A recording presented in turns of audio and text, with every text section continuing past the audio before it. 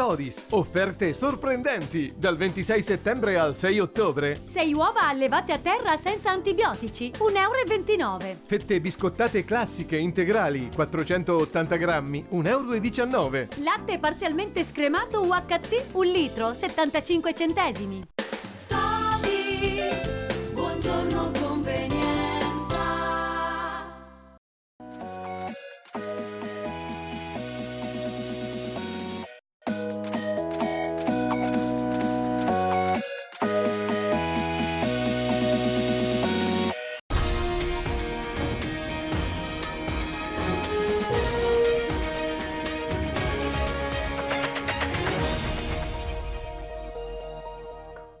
20 imprese rappresentanti di una forza lavoro pari a circa 500 dipendenti hanno fatto sentire la loro voce con un accorato appello sulla chiusura di Torre Valdaliga Nord, Oltre a ribadire il no allo stop anticipato e l'urgenza di una mobilitazione, il coordinamento delle aziende chiede anche di valutare con attenzione e pragmaticamente tutti i progetti alternativi che sono stati proposti in questa fase. Nessun progetto deve essere accantonato senza un'adeguata analisi dei costi e benefici ad esso connessi.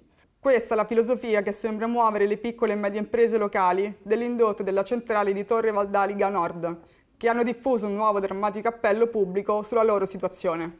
Il coordinamento di aziende, che comprende realtà imprenditoriali tali da rappresentare circa 500 lavoratori, annunciano che intensificheranno la loro mobilitazione e puntano in particolare l'attenzione sulla necessità di un approccio pragmatico alle scottanti questioni relative alla phase out dal carbone. Confermata anche la totale bocciatura dell'ipotesi di anticipare la stop dell'attività della centrale, è stata ribadita da parte dei presenti la fortissima preoccupazione per le evoluzioni della situazione, soprattutto per le notizie che giungono su una chiusura dell'impianto anticipata rispetto alla data del 31 dicembre 2025. Si legge nel documento. Un'eventualità che metterebbe in grave crisi tutta la filiera, già impattata per la perdita dei volumi di attività, perché non permetterebbe di avere il tempo necessario ad analizzare nuovi progetti. La giunta comunale ha approvato il logo Love Civitavecchia come simbolo ufficiale del sito turistico del comune di Civitavecchia insieme alla definizione del brand allineato a tale marchio e all'approvazione della relativa registrazione in continuità con quanto aveva iniziato la precedente amministrazione. L'approvazione del logo rappresenta un passo per la creazione di un'identità visiva della città che aiuti alla promozione del territorio. Il sito turistico comunale disponibile all'indirizzo www.lovecivitavecchia.it e la relativa app sono stati realizzati con l'obiettivo di offrire ai visitatori una piattaforma intuitiva per scoprire le bellezze della città, gli eventi e i servizi disponibili. Proseguono le interlocuzioni tra Confcommercio e l'amministrazione comunale ed in particolare con l'assessore al commercio Enzo Dantò. Diversi gli argomenti trattati, dalla proroga per le installazioni esterne al mercato, passando per i progetti del metaverso e del marchio di denominazione comunale di origine. L'intervista. Cristiano Avoglio continua il dialogo tra Confcommercio e l'amministrazione comunale su diversi eh, argomenti. Il più importante, forse anche il più imminente, è quello che riguarda eh, le installazioni esterne e eh, la problematica relativa ai DEOR. Sì, esatto, Antonio, questo è un problema che è arrivato e sta arrivando è alle porte perché diciamo che la proroga per le installazioni esterne scade in teoria il 30 marzo del 2025, quindi è uno dei primi problemi che abbiamo appunto eh, affrontato insieme all'ufficio commercio. Questo è un uh, fatto determinante perché ci sono tantissime attività che altrimenti andrebbero in difficoltà. Eh, dico che comunque abbiamo avuto un'ottima apertura da parte dell'assessore Enzo Dantò in merito a questo e quindi abbiamo anche proposto sia un'eventuale eh, proroga per guadagnare tempo, quindi minimo di un anno, ma se fosse possibile ovviamente anche che possa arrivare a fine 2026 e al contempo abbiamo messo anche a disposizione i nostri uffici di Confcommercio Roma per cercare di, eh, in collaborazione ovviamente con gli uffici comunali e la sovrintendenza, insomma tutti gli uffici di riferimento, per cercare di eh, istituire un regolamento sui DO che in questo momento non esiste a Civitavecchia. Il marchio Deco è un altro punto eh, su cui puntate.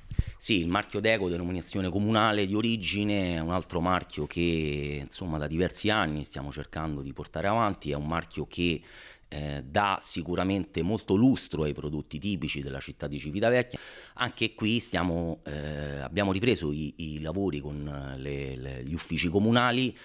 Abbiamo compreso anche e fatto comprendere che questo marchio si può utilizzare non solo per i prodotti tipici, tipici, come ad esempio biscottini di Natale, pizza di Pasqua, ma si può utilizzare anche per gli eventi caratteristici che propone la città, quindi potremmo usarlo addirittura per eh, il 15 agosto, per le, la serata delle pastorelle. E poi c'è il tema del mercato, altro argomento, macro argomento possiamo dire così della nostra città.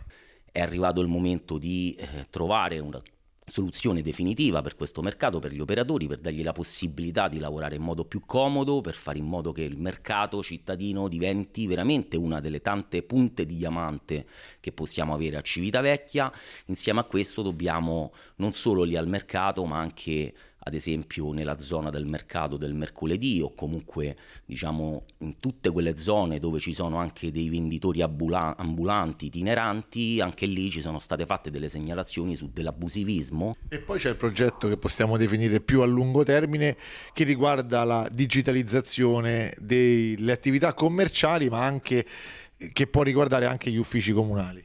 Sì, esatto, noi come abbiamo già detto, insomma, inizio 2023, ricalcando un po' quella che è la città di Seul, abbiamo proposto questo progetto che abbiamo chiamato Civitaverso, quindi non è nient'altro che la digitalizzazione della città, questo ci può dare in questo fortissimo momento dove non si sente altro che intelligenza artificiale, non possiamo far vedere prima determinate cose della nostra città eh, croceristi, turisti e, e chi insomma vuole vedere prima di venire direttamente nella nostra città, così come possiamo utilizzare una digitalizzazione dedicata agli uffici. Sulla 12 Roma Civitavecchia per consentire lavori di manutenzione dei portali segnaletici, dalle 21 di oggi alle 6 di domani sarà chiusa l'uscita di Civitavecchia Sud per chi proviene da Roma, in alternativa si consiglia di uscire a Civitavecchia Nord. Anche quest'anno presso il Parco Martiri delle Foibe si svolgerà venerdì alle ore 10 la manifestazione nazionale Una Rosa per Norma, l'evento giunto alla sesta edizione, promosso in tutta Italia dal Comitato 10 febbraio per onorare la memoria della giovane studentessa istriana Norma Cossetto, medaglia d'oro al merito civile, seviziata e gettata ancora viva in una foiba tra il 4 e il 5 ottobre 1943 dai partigiani di Tito nella foiba di Villa Surani. C'è un cambio nel prossimo match di Michael Magnesi programmato per sabato 26 ottobre a Tolfa nel centro sportivo di Via della Pacifica all'entrata del paese. Infatti l'avversario non sarà più Darwin Martinez ma sarà sempre un nicaraguense. Il nuovo obiettivo di Lone Wolf si chiama Kevin Trana che vanta un record di 15 vittorie, 3 pareggi e 20 sconfitte. Si tratta di un pugile che è già conosciuto in Italia avendo affrontato boxer molto quotati come Alessio Lorusso e Cristian Zara. Ed è di nuovo tempo di Coppa Italia per il Civitavecchia. I nerazzurri reduci dal pareggio esterno a Colleferro in campionato saranno di scena questo pomeriggio alle 15.30 sul campo dell'Aurelia Antica Aurelio. Si gioca il ritorno dei sedicesimi di finale di Coppa Italia con i civitavecchiesi che partono dal punteggio di 2-0 ottenuto all'andata grazie alla doppietta di Manuel Vittorini e cercheranno di conquistare l'accesso agli ottavi.